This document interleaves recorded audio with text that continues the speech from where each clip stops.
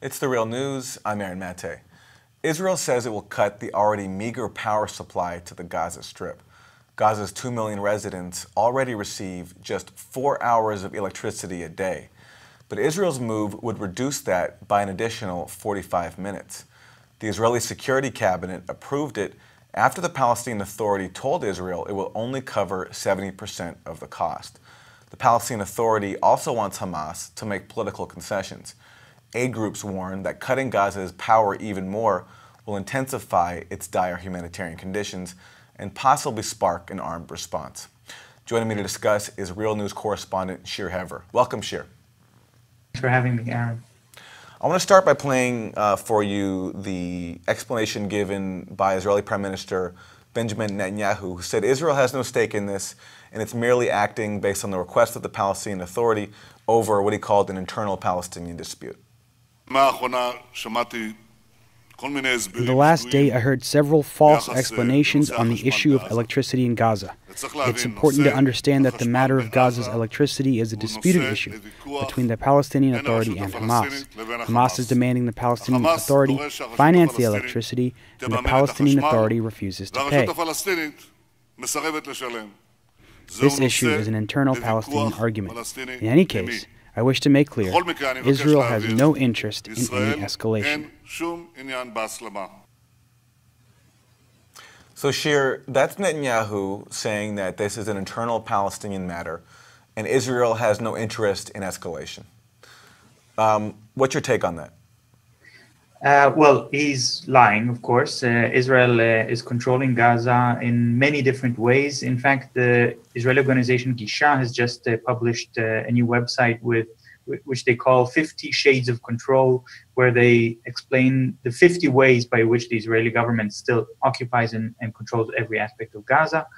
Um, Netanyahu is trying to uh, shift the blame on Abbas. And it's true that President Mahmoud Abbas of the Palestinian government is now trying to um, put pressure on, on Hamas, or at least create the appearance that he's putting a lot of pressure on Hamas uh, in preparation for negotiation with Israel, because um, uh, President Trump is saying that there's going to be negotiations soon, and, and uh, the Palestinians uh, are concerned that they're going to be asked to make uh, very painful concessions. Uh, and I think also the Israelis are, are concerned about these concessions. So Eh, suddenly Netanyahu is um, pretending as if he's obliging the request of the Palestinian Authority by cutting the, the power, but there is a responsibility of the Israeli government to the well-being of Palestinians in Gaza. and this responsibility remains, and everybody in the area, whether in Israel or in the Palestinian territory, understands completely that this is an Israeli decision to cut power and to uh, intensify the siege. Uh, and in fact, the Israeli military, as well as the Israeli uh, intelligence organizations, are actually calling on the government not to do this because uh, it uh, strongly increases the chance for another confrontation. So, explain a bit further what would motivate Abbas to basically use Gaza as a bargaining chip uh, here ahead of negotiations with Israel. Abbas is running out of bargaining chips. Uh, in a way, uh, uh, this this is a, the last moment uh, for Palestinians to try to get an independent state. In a way, uh, because the Israeli government is now moving in the direction of um, annexing the the West Bank or large parts of the West Bank, and uh, Netanyahu has just said to the United Nations and to the United States that actually has a new plan uh, by which the Israeli illegal colonies in the West Bank would uh, remain under Israeli sovereign control, even if a Palestinian state would be erected. And those colonies would, of course, need to have their own roads and infrastructure also under Israeli control. Netanyahu added that uh, military control over the entire West Bank will remain uh, uh, with, with Israel and not with the Palestinians. That means that Palestinian statehood is in name only. So Abbas is, is pretty much cornered right now. Uh, he uh, showered President Trump with, with praise, trying uh, to, to appeal to, to Trump's sense of, of uh, worth as a great negotiator uh, in an attempt to, to improve his negotiating position. But when it comes to actually um, uh, having cards to negotiate with. He doesn't have many. And putting pressure on Hamas in Gaza uh, is one of the only things it can do. And if Israel will indeed be dragged into another uh, confrontation with Gaza, that, uh, or, or, more likely, Israel will initiate another invasion of Gaza this summer, uh, killing a lot of people and causing a lot of damage, uh, then uh, this will affect Israel's standing in the world and maybe um, give a little bit more of international support to the Palestinians, but at a terrible cost. So, in order to show uh, the uh, the U.S. and Israel that uh, he means business, he's Abbas is willing to basically uh, deepen Gaza's suffering. Um, I believe so, unfortunately, uh, and uh, the Hamas party is now being isolated also because of the siege, the diplomatic siege and the economic siege on Qatar. Qatar is one of Hamas's supporters, and losing support from Qatar puts Hamas in a very precarious situation. I think that makes it easier for uh, Mahmoud Abbas to push forward. And in fact, he, he also made statements, uh, not, not he himself, but senior members of his party uh, recently made statements that they completely support uh, the six country uh, countries which are now um, implementing the siege against Qatar. Uh, and they say that Qatar has no place in Middle East politics and Hamas has no place in Middle East politics. You know, I just want to make one distinction, and correct me if I'm wrong, but you said that this is Palestinians' last chance to get an independent state. But is this Palestinians' last chance, or is this basically Abbas's last chance? Because, of course, Palestinians uh, are entitled, most of the world thinks, to an independent state. Israel has no legal claim to any of the occupied territories. So is it more that Abbas is simply trying to scramble for what he can get until his time in office is over? Well, I, first of all, I, I, completely agree with you that uh, the Palestinians have a right uh, to an independent state, and the right is not going to die. Uh, the right is not going anywhere. Uh, but the question is, what is the preferred strategy of the Palestinians uh, in order to achieve their freedom and their and their uh, independence? And uh, Abbas represents a, a, powerful camp within the Palestinian political sphere that calls for the two state solution, an independent Palestinian state. Uh, but members of his own party uh, are already doubting that strategy very seriously. And, and uh, I think Abbas, uh, like you said, this is for him a kind of last chance.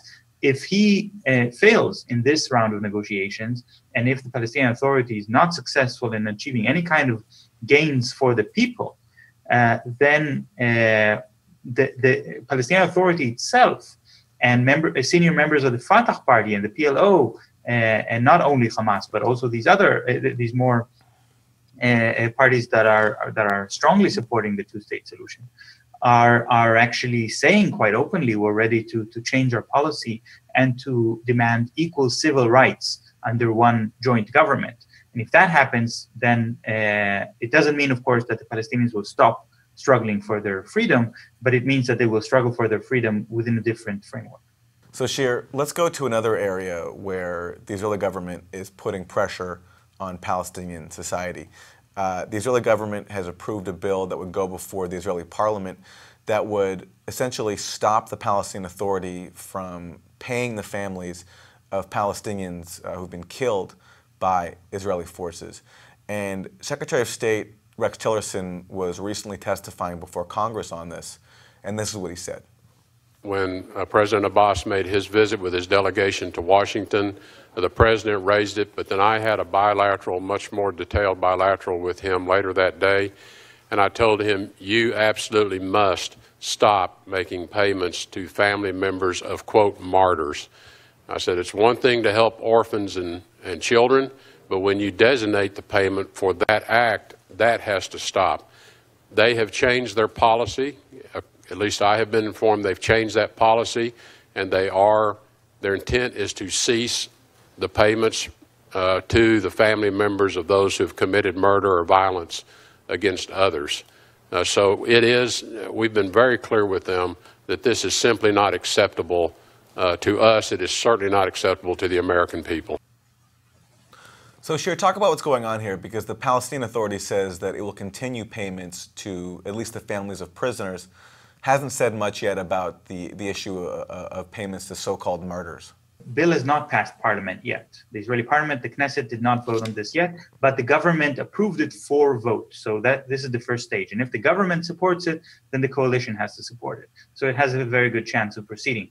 But uh, um, one wonders why do they even need a bill? Because uh, this is uh, actually a system that Israel already controls the money.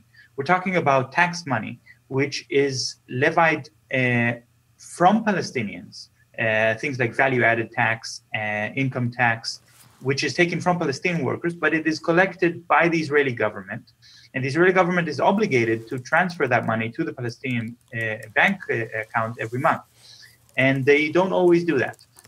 and they can decide to collect whatever the debts or commissions or fees that they see fit every every month and uh, they do that actually. Uh, for, so, for example, if we talk about electricity, we just discussed the, the crisis uh, of electricity uh, in Gaza, then it's already the case that when the Israeli electricity company provides electricity to Palestinians, the Israeli government can just collect the fees directly from those tax money without giving the Palestinians any chance to negotiate how much should be charged and whether that may be with too much this month or, or so, and, and so on.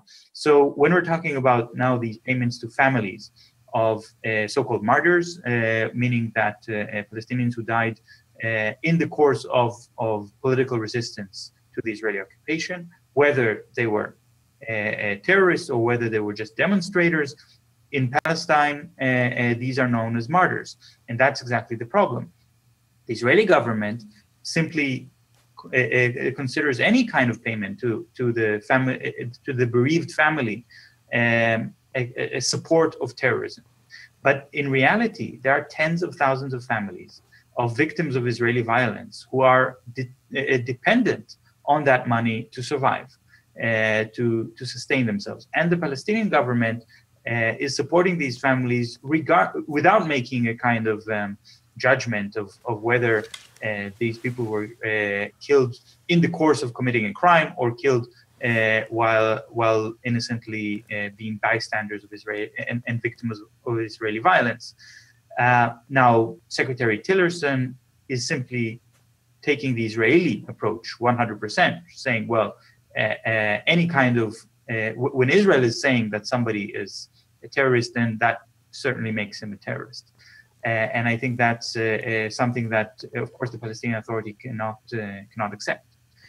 so that money that Israel now wants to, the, the Israeli government wants to deduct from those tax payments to the Palestinian Authority will uh, create a, a, very serious crisis. Uh, if, if this is indeed, indeed passes in the Israeli parliament, uh, it could uh, lead to the collapse of the Palestinian uh, government altogether, or it could lead to a humanitarian catastrophe when tens of thousands of families will lose their uh, monthly income.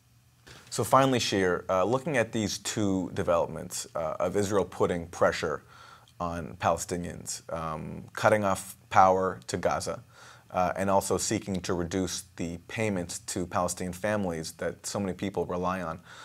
What do you think is the goal here? Um, recalling that in 2014, when Israel put pressure on Palestinian society uh, by um, launching these raids in the West Bank um, and also carrying out strikes in the Gaza Strip, that led to the devastating summer conflict in Gaza that killed so many people and also thwarted attempts at Palestinian unity. I think what connects these two stories, uh, on the one hand, um, the, the uh, uh stopping the electricity to Gaza, and on the other, uh, stopping money to the families of, of victims of Israeli violence and, and prisoners uh, in Israeli jails. The, the thing that connects the two stories is the issue of hypocrisy. Because Netanyahu is saying well, we're just uh, not going to intervene in a Palestinian internal decision whether they should uh, uh, spend their money on this group or the other when it comes to sending electricity to Gaza. He's pretending as if this is an internal Palestinian decision. But when it comes to the internal Palestinian decision, whether they want to support the families of, of victims and prisoners, suddenly uh, Netanyahu uh, is definitely becoming involved in their internal decision. And is going to deduct from their budget the very exact amount that they're going to give to those families. So, why is the Israeli government using so much hypocrisy? They're using hypocrisy because they're trying to change the narrative uh, to portray Palestinians as terrorists to get Tillerson to repeat that statement and to uh, get Tillerson to represent their position. And, uh, and this kind of hypocrisy, when you accept it, then you've actually already accepted the fact that uh, Israel is generous towards the Palestinians and the Palestinians are, are all uh, uh, criminals. And that's uh, the goal. But, but what I think the Israeli government does not want is another round of fighting. Uh, because this kind of fighting has a, a very serious imp- uh, implications on the Israeli economy. Of course, worse implications on the Palestinian economy. Uh, and and uh, in this uh, invasion of Gaza of 2014 that you mentioned, uh, which was preceded by an invasion of the West Bank as well, uh, over 2,000 Palestinians were killed. Uh, but for the Israeli side, where 72 Israelis were killed, and also very se- severe damage was conducted, it was inflicted on the Israeli tourism industry. this is something that the Israeli government does not want to repeat, but back in 2014, the issue was Palestinians were just about to hold an election, something that the Israeli government was very concerned about. And the election was supposed to enable a reconciliation between Fatah and Hamas, a united front of Palestinians calling for their freedom against Israel. The Israeli government could just not com- cope with that. They could not afford to, to have that happen. So they invaded and they caused all this destruction. And now I think this is again the concern. What happens if the Palestinians speak with a clear voice and uh, demand uh, basic rights that, according to international law, and this attempt to co- create a crisis and prevent it uh, is is exactly what the Israeli government in doing, is doing, even if it would mean another round of violence and many people killed. Real News correspondent Shir Hever. Shir, thanks for joining us. Thank you very much. And thank you for joining us on the Real News.